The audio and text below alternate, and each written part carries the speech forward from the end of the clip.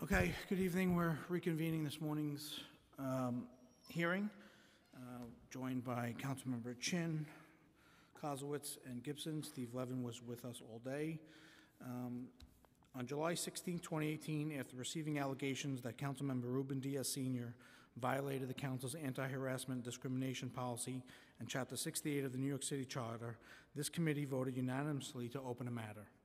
After, the, after convo- conducting an inquiry, hearing from Councilmember Diaz Sr., and deliberating, the committee found that Councilmember Diaz Sr. did use council resources inappropriately.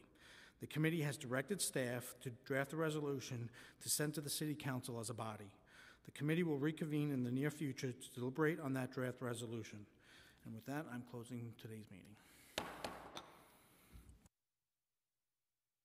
Thank you, everyone.